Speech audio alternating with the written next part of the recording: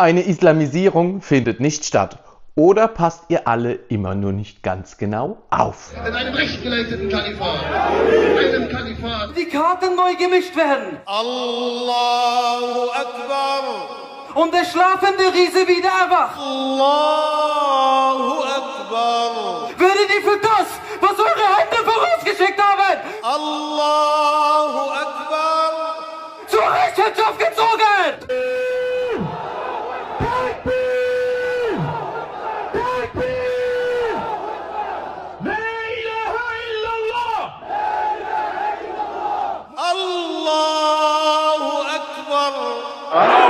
Happy Ramadan heißt es dieses Jahr erstmals quasi ganz offiziell in der Frankfurter Innenstadt. Happy Ramadan und damit herzlich willkommen bei Politik mit Kopf. Eine Islamisierung findet nicht statt, würde auch nie jemand behaupten.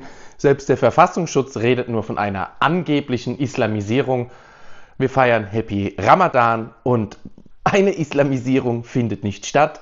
Vielfach das Thema schon angesprochen, schon diskutiert und man muss es hier einfach mal so drastisch zusammenschneiden wie hier in den vorangegangenen Szenen. Das sind alles Aufnahmen der letzten acht Wochen aus Deutschland. Nichts aus dem Ausland, nichts hinzugedichtet, nichts erfunden. Doch die Politiker, sie verstehen, glaube ich, nicht, mit, welchem, mit welcher Gefahr sie hier spielen. Vor allem er hier versteht es nicht. Das ist die Einführung des Kalifats. Ähm, Das ist eine denkbare Staatsform. Ja, Herr Haldenwang, Kalifat ist eine denkbare Staatsform. In Ihrem Sozialistenhirn vielleicht und das CDU bei dem C, da denke ich immer nur an den Halbmond bei Herrn Haldenwang, aber die Leute, sie verstehen es nicht. Und schaut mal hier unsere türkischen Fußballfans, wie sie das Ganze sehen in Frankfurt. Und so kommt es überall in Deutschland zu diesen Szenen. Es beten Muslime in der Öffentlichkeit und zwar zu Hunderten oder zu Tausenden und sie belästigen damit andere. Sie belästigen dich, sie belästigen mich. Nach den Lärmschutzgesetzen ist es allerdings wohl keine erhebliche Belästigung, die von einem Gebetsruf ausgeht. So müssen wir auch das Minarett dulden. Allerdings habt ihr an den vorangegangenen Szenen gesehen, dass die Muslime sich durchaus bewusst sind, wenn der schlafende Riese erwacht, wenn sie also genug sind und losschlagen wollen, dann müssen sich alle in Acht geben, die vorher Muslime kritisiert haben. Das sagen sie ja wirklich. Dann müssen sich auch alle entschuldigen, die was gegen den Propheten gesagt haben. Und dann stellt sich der oberste Verfassungsschützer in diesem Lande hin und sagt auch noch eiskalt, dass das Kalifat eine denkbare Staatsform wäre wie Kommunismus und Sozialismus. Alle drei sind undenkbar aktuell in unserem Land und vor allem wird jetzt Herr Haldenwang von den Islamisten gefeiert. Generation Islam hat folgendes getwittert. Herr Haldenwang ist jetzt der dickste Freund von Generation Islam, derjenigen Islamvereinigungen, die letzte Woche in Hannover ihre Kalifatsdemo abgehalten haben. Die Demo wurde erst verboten, von einem Richter dann wieder erlaubt, dann wurde von der Polizei der Kalifatsaufruf als Auflage zur Demo verboten. Ihr seht ein Ping-Pong-Spiel, ein Rumgeeiere und Generation Islam fordert jetzt hier ganz offen das Kalifat als die Lösung und da muss man immer wieder betonen, Aussagen, die gegen die Völkerverständigung sind, sind strafbar und zwar strafbar in diesem Land. Das heißt, jeder, der hier aufruft zu einem Kalifat in Nahost, was dort die Abschaffung von vorhandenen Staaten bedeutet, der agiert gegen die Verständigung der Völker. Ich frage mich, wo hier die ganzen Juristen sind, die sowas endlich mal zur Anzeige bringen.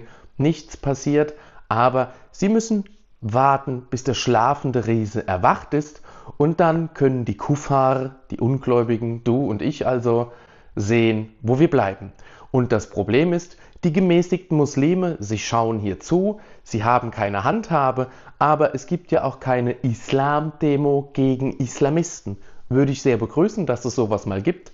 Es war letztens eine Sendung bei Markus Lanz, wo alle Vertreter von Islamverbänden abgesagt haben und nur andere Personen quasi zugesagt haben ein Jurist, ein Islamjurist, also ein Muslim, der Jurist ist. Ahmad Mansur war da und die Schreibele war da. Wie, wie heißt sie denn? Diese, diese Rundfunkrätin, ihr wisst, wen ich meine. Äh, die Frau Hübsch, genau. Und äh, keiner will hier öffentlich die Debatte führen. Ich weiß, Viele Muslime sind gemäßigt, akzeptieren hier die Regeln und wissen ganz genau, dass das Grundgesetz über der Scharia steht, doch sie sind eine schweigende Masse. Und genau das ist das Problem. Wir werden hier links und rechts quasi überholt von den ganzen Extremisten und vor allem von den islamistischen Extremisten. Ja? Sie wollen hier das ganze Gebilde abschaffen und durch ein Kalifat ersetzen. Ja, jetzt fordern sie erst das Kalifat in Nahost und wenn es dort umgesetzt ist, dann fordert man es hier, so wie damals das Kalifat, aus dem die Türkei hervorgegangen ist. Das ist ja gerade mal circa 100 Jahre her. Die Politiker, sie schlafen hier, sie reden, weit, sie reden weiter davon, nur einige tausend in ihre Heimatländer abzuschieben.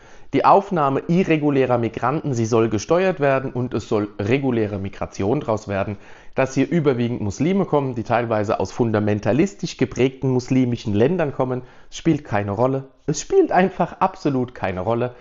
Jeden Tag Messerstechereien, Morde, Gruppenvergewaltigung, alles inzwischen an der Tagesordnung. Schießereien kommen jetzt auch immer öfter hinzu. Die Clans entdecken jetzt das Feld des Waffenhandels für sich und so bleibt dem Staat nichts anderes übrig, als sich da durchzusetzen, wo noch Respekt herrscht, bei dir und mir, bei Deutschen oder bei schon länger hier Lebenden, das sind auch viele Nichtdeutsche, die schon früher zu uns gewandert sind, die genauso sauer sind und genauso wollen, dass dieses Dreckspack dieses Land verlässt. Das ist das häufigste Kommentar unter allen meinen Videos.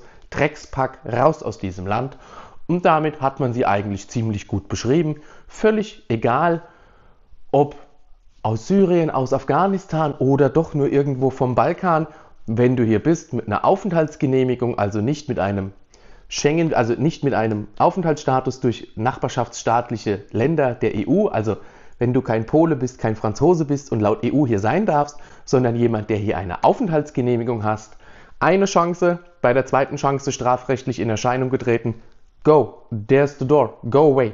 Da ist die Tür, raus mit dir, never ever, komm zurück. Auch diese Wiedereinreisesperren, fünf Jahre machen sie. Wieso fünf Jahre? Wieso gibt es keine lebenslangen Wiedereinreisesperren für Leute, von denen wir zum Beispiel wissen, dass sie terroristische Gefährder sind? Die kriegen auch nur fünf Jahre. Allerdings wissen sie auf der einen Seite nicht, wie viele schwere Straftäter und Gefährder sie haben, auf der anderen Seite haben sie Zahlen, wie viele sie ausweisen wollen und sie haben nicht verstanden, dass dieses Land zu viel Muslime bekommen hat in der Vergangenheit. Die Integration, sie findet nicht statt, nicht unbedingt, weil wir nicht genügend Kapazitäten haben, sondern weil viele kommen, die integrationsunwillig sind und das müsste man von ihnen abfordern. Wer hierher kommt, an der Grenze in ein Lager, entscheiden über den Asylbescheid, wenn der Asylbescheid positiv, sechs Monate Sprachkurs, am besten direkt im Grenzlager und dann direkt an eine Arbeitsstelle. Und wenn man die Arbeitsstelle nicht hält, dann geht es wieder nach Hause. Wenn wir Leute aufnehmen, dann müssen wir sie in die Lage versetzen, hier Teil der Gesellschaft zu werden. Das heißt, wir müssen sie zwingen, die Sprache zu lernen. Ob sie das wollen oder nicht, spielt keine Rolle.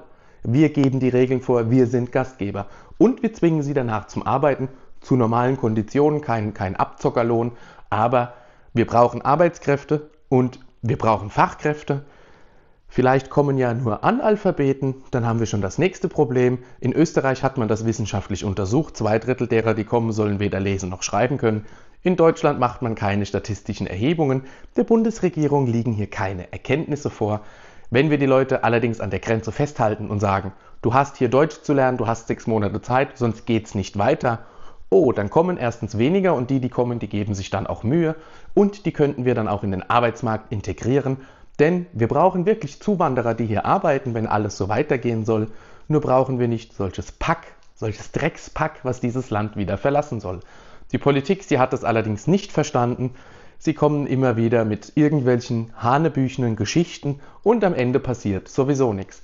Ich bin gespannt auf deine Meinung. Schreib mir unbedingt einen Kommentar unter dieses Video. Abonniere auch meinen Telegram-Kanal, dann bleibst du immer auf dem Laufenden und damit bis bald.